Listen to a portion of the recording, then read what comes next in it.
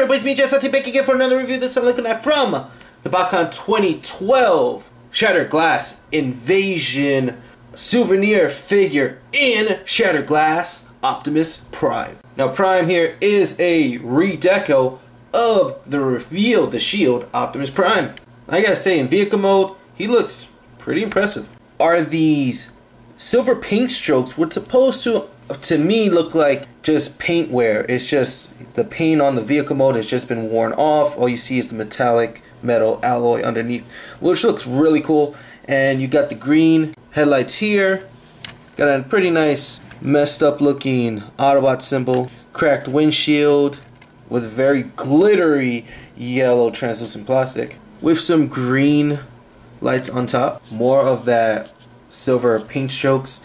Got this random lightning bolt. Don't know why it's there, but hey, I'm not. And even back here, just having the black mix in with the silver paint stripes right here, paint strokes, looks really cool. I really do like that look. You know Optimus is like tagline, you know, one shall stand, one shall fall. Whoa, we have Shattered Glass Prime here.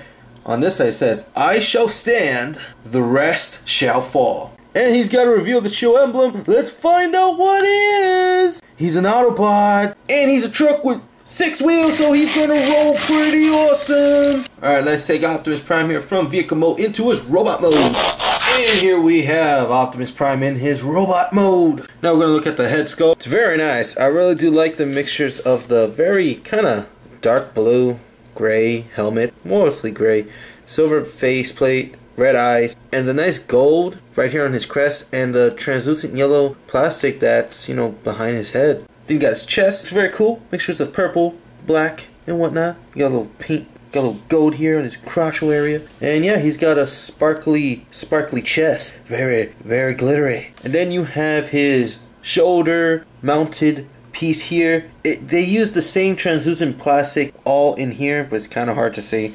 But besides that, you know, nice purple painted on the shoulder area. And on the arm, as you can see, that same translucent yellow plastic right here on the bicep. And we have nice purple here and got some gold applications on his arm. And then we have his sculpted hand. And then we have his legs. I, again, really like the whole silver paint that they did on this figure. It just looks really cool, very gritty.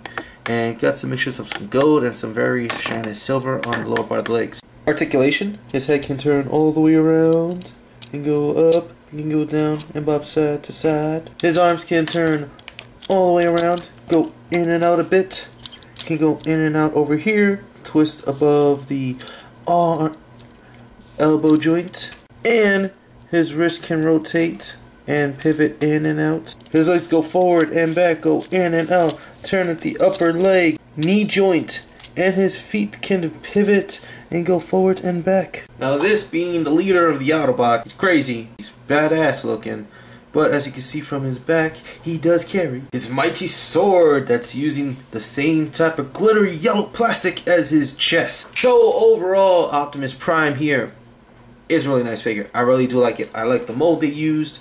I wasn't too keen on them using Optimus Prime from the Shattered Glass universe again since we did get him in the 2008 using the classic figure mode. But having him in hand, he's very impressive. I actually like him better than the 2008 figure. I mean, he just looks really nice in vehicle mode, robot mode. The paint applications is really nice. Articulation is really good. And I would recommend him if you do not have the 2008 Optimus Prime and you want a Shattered Glass Prime. He's definitely one to get. But that is me. You don't have to agree with me. So hopefully you enjoy this review. I am Jazz Santi with the BotCon 2012 Shattered Glass Invasion souvenir figure Shattered Glass Optimus Prime. And I'll talk to you all later.